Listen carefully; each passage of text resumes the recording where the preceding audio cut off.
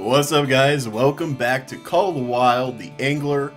We are here at the Golden Ridge Reserve on our last quarter, last leg of this whole series where we are doing all the challenge missions.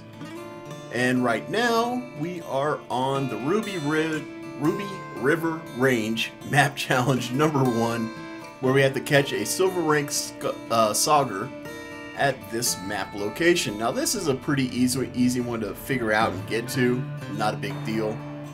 So we're going to go ahead and activate that guy. And we did catch a silver sauger before with a number 6 minnow, so I believe I set that up already. Number 6 minnow, yes we did. Alright, so we actually are going right up here, so we could fast travel to the tight end trailhead which we're going to do. And this guy is over here. We're going to go to the other side of this bridge because there's a jetty on the other side. Yeah, there we go.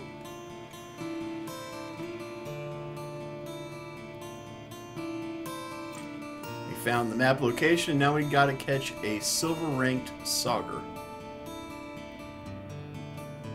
Right. This shouldn't be too terribly bad.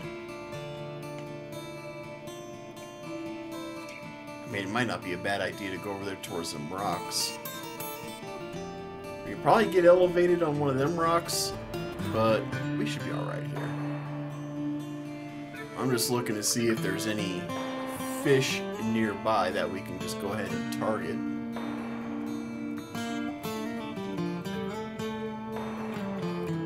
Not seeing anything. So I guess we'll just toss the line out and see what happens.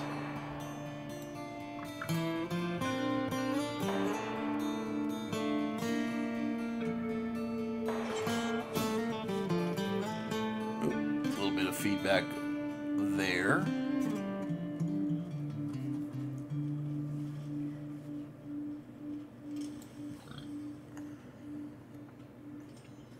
There we go. There's our silver ranked Sauger. Well, it looks like he's been in a battle or something, man. What's up, dude?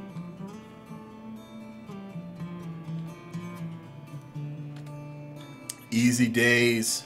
Easy days. So, as reference, we uh, fast traveled to Trailhead, um, to the tight end Trailhead, went across the bridge over to this jetty here and we used the Eisvogel spinning rod, the Rudelflug spinning ru eh, Rudelflug spinning reel, the 22 pound fluorocarbon, the bubble bobber, a number 6 hook with minnows, and that got us our silver sauger.